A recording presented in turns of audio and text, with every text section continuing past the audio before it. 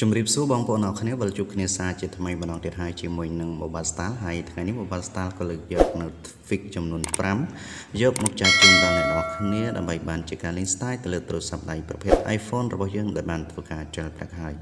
អូខេអញ្ចឹង Fix ទី1ដែល Mobile Style ចង់បង្ហាញគឺរបៀបដែលយើងអាចធ្វើការ respring ទៅលើទូរស័ព្ទដៃ iPhone របស់យើងដោយគ្រាន់តែអូសរបៀបដកឡើងទៅលើអញ្ចេះហើយលែងបាទវានឹងធ្វើការ respring ទូរស័ព្ទដៃ iPhone របស់យើង អូខេអញ្ចឹងដើម្បីអាចលេង style ដូចនេះបានឬក៏អាចធ្វើការ respring ទូរស័ព្ទដៃ iPhone របស់យើងដោយគ្រាន់តែអូសរបស់ដកឡើងទៅលើអញ្ចឹងបានអ្នកនរគ្នាគ្រាន់តែចូលទៅកាន់ site នេះហើយធ្វើការ install Notifix មួយដែលគេដាក់ឈ្មោះថាអឺអូខេបាទយើងចូលមកកាន់ site នេះហើយ install នៅ Twig មួយដែលគេដាក់ថា Dog Spring អូខេបាទអញ្ចឹងពេលយើង install ហើយ Twig ហ្នឹងនឹងដំណើរការដោយស្វ័យប្រវត្តិចូលទៅក្នុងទូរស័ព្ទដៃ iPhone របស់យើងតែម្ដងអូខេនេះគឺជា Twig ទី1 Twig ទី2ដែល Mobile Star ចង់បង្ហាញគឺយើងរបៀបដែលយើងលេង style ទៅលើ widget របស់យើងបាទឲ្យមានលក្ខណៈរាងដូចជាថ្លាថ្លាបែបនេះគឺឆ្លុះ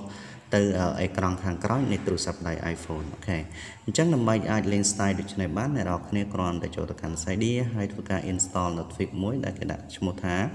clear widget អូខេ clear widget អញ្ចឹងយើងគ្រាន់តែចូលទៅកាន់វាទៅធ្វើការ install ហើយយើងចូលមកកាន់ setting ហើយធ្វើការបើក enable វាមកបន្ទាប់មកកន្លែង capacity level របស់វានេះយើងអាចធ្វើការបន្ថែមបន្ថយដើម្បីឲ្យ widget របស់យើងថ្លាឬក៏ស្អាប់ទៅតាមហ្នឹងឧទាហរណ៍ខ្ញុំដាក់ប៉ុណ្ណេះបាទឲ្យដាក់ប៉ុណ្ណេះពេលយើងកំណត់អញ្ចឹងហើយយើងកន្លែងនេះបាច់បើកវាទេបាទពេលយើងកំណត់អញ្ចឹងហើយយើងចុច respring មកបាទវានឹងដំណើរការ tweak ហ្នឹងហើយ OK អញ្ចឹងយើងត្រឡប់ទៅមើល widget របស់យើងបាទពេលយើងដាក់ opacity វាកាន់តែទាបអញ្ចឹង ភាពថ្លារបស់វាគឺកាន់តែថ្លា OK កាន់តែថ្លា បាទនេះគឺជា tweak ទី2 tweak ទី3ដែល Mobile Style ចង់បង្ហាញគឺរបៀបដែលយើងលេង style ទៅលើ control center របស់យើងឲ្យមានលក្ខណៈជាលក្ខណៈថ្លាបែបនេះដូចជា widget របស់យើងចឹងដែរបាទអញ្ចឹងយើងឃើញថាមានលក្ខណៈស្រស់ថ្លាអញ្ចឹងទៅហើយមើលទៅវាមានលក្ខណៈស្អាតមួយយ៉ាងដែរបាទមានស្អាតយ៉ាងដែរបាទអញ្ចឹងដើម្បីអាចលេង style អញ្ចឹងបានអ្នកនរគ្នាគ្រាន់តែចូលទៅកាន់ site ហើយធ្វើការ install នៅ Twig មួយដែលគេដាក់ឈ្មោះថាបាទ CC Clear Model BG អូខេ CC Clear Model BG អញ្ចឹងបាទពេលយើងធ្វើការ install ហើយយើងចូលមកកាន់ setting ដើម្បីធ្វើការកំណត់វាបាទធ្វើការកំណត់វាទៅកន្លែង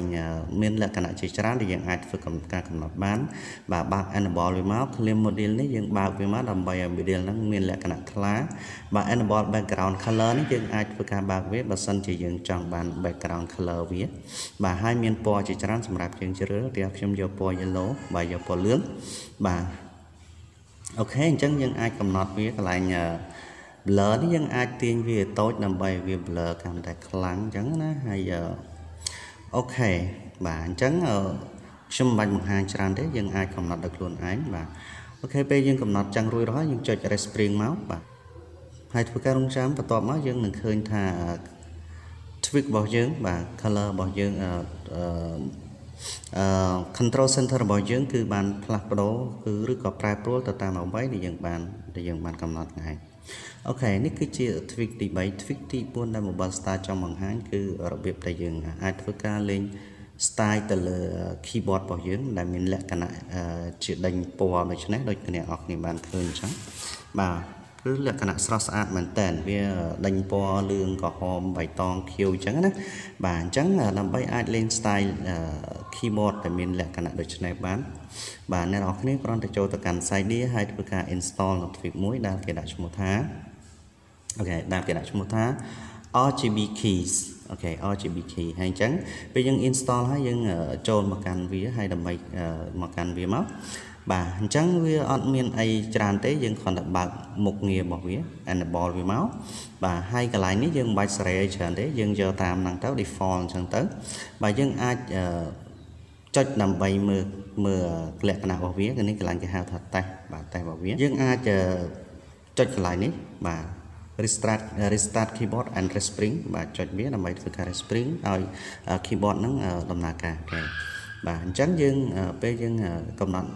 ឬ install អញ្ចឹងហើយយើងនឹងបាន keyboard ដែលមានលក្ខណៈស្រស់ស្អាតដូចនេះឯងប្រើនៅក្នុងទូរស័ព្ទដៃ iPhone របស់យើងអូខេ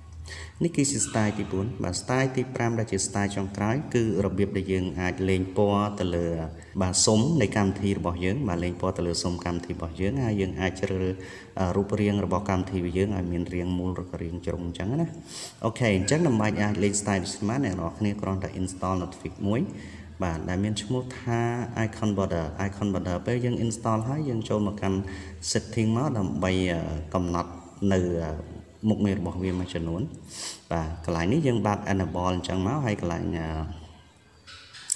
អូខេកន្លែង border color នេះយើងអាចធ្វើការផ្លាស់ប្ដូរពណ៌របស់វាទៅតាមពណ៌ដែលយើងស្រឡាញ់